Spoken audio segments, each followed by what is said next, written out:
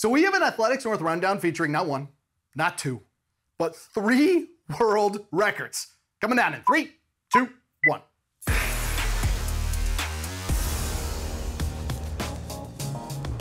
So for the first time in the 13-year history of the Diamond League, three world records were broken at the same meet. Just a week after breaking the 1500 meter record, Faith Kipyegon shattered the 5,000 meter record, and this was the first time she ran that distance in eight years. Faith Kipyegon, what a performance! Oh. It's a world record! Oh my goodness! She's done it again! Then you had Olympic and world silver medalist Lamecha Girma breaking a 19-year-old world record in the 3,000 meter steeplechase. And finally, Jakob Ingebrigtsen set the first world record of his young career, running the fastest two miles in history. He actually broke a record that is older than he is. He's 22, and the record he broke stood for more than 25 years. Okay, not everything was a world record, but in the men's 100, we actually had a Marcell Jacobs sighting. The Olympic champ did not pull out of this one, but what he did do was struggle to a seventh place finish.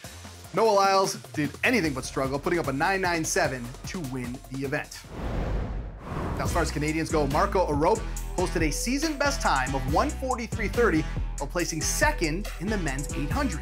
Arop, is he going to hold on there? Oh, and Wanyonyi maybe get it on the line. Wanyonyi came through.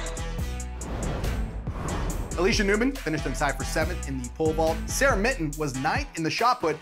And in a non-official mixed hammer throw event, Ethan Katzberg won with a toss of 77.93 meters. But it doesn't stop there. He also picked up a bronze medal at a World Athletics Continental Tour event in Poland. And at that same event, Camryn Rogers grabbed a silver medal in the hammer throw the day before turning 24 years old. Not a bad way to celebrate your birthday. And before we go, we have to show you this. Marissa Papaconstantinou. She's gonna be giving us insight into her life as an athlete through monthly social videos, starting with this one, where she gives us a glimpse as to what it's like to travel as a para-athlete. Have a look. Traveling light is definitely not an option for me, but I like to make sure that I have everything I need with my equipment while I'm on the road.